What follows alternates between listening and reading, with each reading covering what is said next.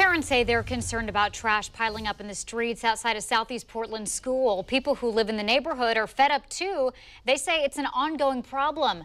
But this week, that problem got even worse, and this goes far beyond just household trash. Terrible. Fox 12's Tyler Dumont has the story you'll see only on 12 tonight. Perhaps it used to hit the waves of the Willamette, but Tuesday, this old blue boat was found docked partially on the sidewalk in front of the Franciscan Montessori Earth School at Southeast 148th in Clinton. This was out of the ordinary. It's a boat.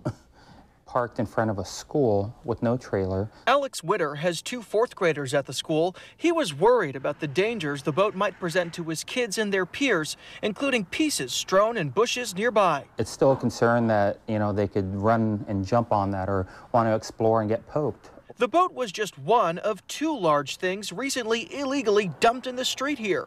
Just a few hundred feet away, a trash filled bed and rear axle of what used to be a truck. That appeared about four days, five days ago.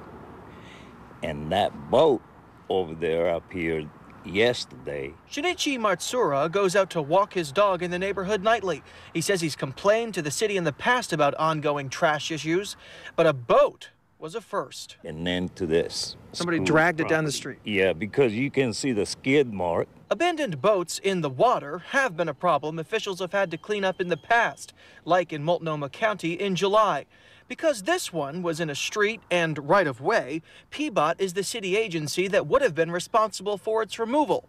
Tuesday afternoon, the agency told Fox 12 they receive thousands of reports of abandoned cars, RVs, and boats each year and it might have been days or even weeks to get to this one.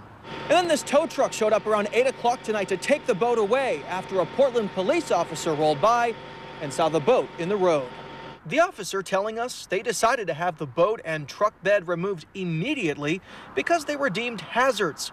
And with the road now clear, a new hope that the dumping days here are over. It's sad to see it. In Southeast Portland, Tyler Dumont, Fox 12 Oregon.